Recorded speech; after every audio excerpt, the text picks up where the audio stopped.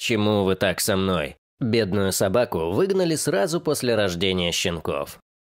Никто не знает, как Мелоди очутилась в приюте, но ее полные грусти глаза говорят о многом. Будучи молодой мамой, собака оказалась без крыши над головой, и только доброта людей помогла ей выжить. Сама голодала, но берегла малышей. Не так давно Мелоди родила 10 щенков, и сразу после этого кто-то привел ее в приют. Крошек принесли туда же, чтобы мама могла о них заботиться. Неизвестно, откуда прибыла собака и кто были ее хозяева, но условия, в которых она жила до появления в приюте, вызывали слезы у каждого, кто видел питомицу. Исхудавшая до костей, с невероятно грустными глазами, собака изо всех сил держалась, чтобы не упасть. Что самое удивительное, Мелоди оказалась заботливой мамочкой. Она выкармливала своих малышей, хотя сама едва стояла на ногах от слабости. Увидев, в каком состоянии несчастная собака, женщина, которая работала в приюте, попросила подругу по имени Петти Доусон помочь в спасении молодой мамы. Когда приятельница получила фотографии, на которых была псинка, ее сердце переполнило жалость. Мелоди и ее щенки просто не выходили у меня из головы, призналась Петти и, не раздумывая, согласилась прийти на помощь.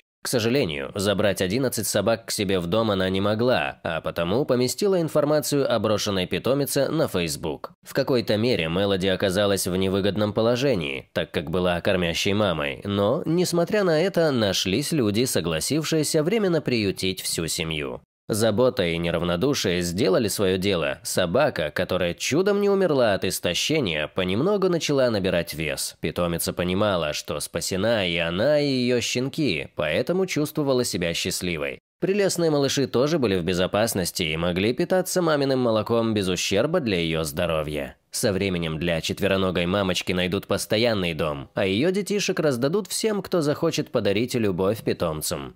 Что же, мы очень рады, что эта милая семья получила шанс на счастье, и им не придется скитаться по улицам в поисках еды и пристанища.